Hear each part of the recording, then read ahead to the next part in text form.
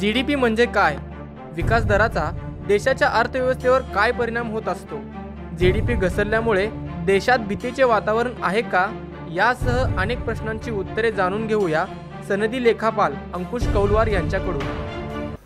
जी D P म्हणजे gross domestic product तो जसं आपण इकॉनॉमी किती पर्सेंटेजनी वाढत जाते त्या पर्सेंटेजचं ते मोजमाप जी डी पीमध्ये केलं जातं. त्याला जी डी पी म्हणतात.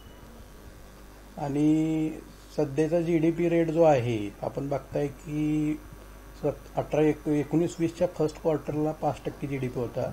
तो आता साडेचार टक्क्यापर्यंत कमी झालेला आहे. आणि कम्पॅरेटिव्हली मागच्या क्वार्टरमध्ये तो मागच्या वर्षाच्या तो सात टक्के होता. तो आता साडेचार टक्के झालेला आहे. त्याचे कारणं वगैरे बरेच आहेत.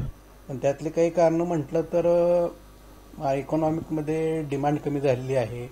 ॲटोमोबाईल सेक्टरमध्ये डिमांड कमी आहे सर्व्हिस सेक्टरमध्ये कमी आहे आय टी सेक्टरमध्ये कमी आहे आणि फार्मामध्ये सुद्धा अशा जे नैसर्गिक आपत्त्या होत आहेत त्याच्यामुळं सुद्धा फार्मा सेक्टरमध्ये सुद्धा प्रोडक्शन कमी झालेलं आहे. त्याच्यामुळं हा असर आपल्याला सध्या जाणवतोय. ह्याच्यामध्ये आता गव्हर्नमेंट बऱ्यापैकी मोठ्या स्टेप्स घेत आहेत. त्यातल्या काही स्टेप्समध्ये गव्हर्नमेंटने कॉर्पोरेट टॅक्स कमी केलेला आहे. त्याच्यानंतर कन्स्ट्रक्शन सेक्टरमध्ये त्यांनी एक फंड क्रिएट केलेला आहे ज्या फंडाद्वारे ज्या काही स्कीमा आहेत त्यांना ते फंडिंग करणार आहेत.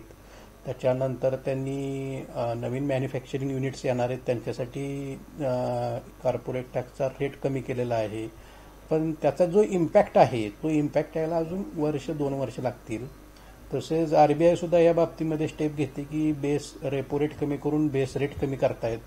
बेस रेट कमी केल्यामुळं त्यांचा इंटरेस्ट रेट जो आहे एफ डीवरचा बी कमी होतोय आणि लोनवरचाही कमी होतोय.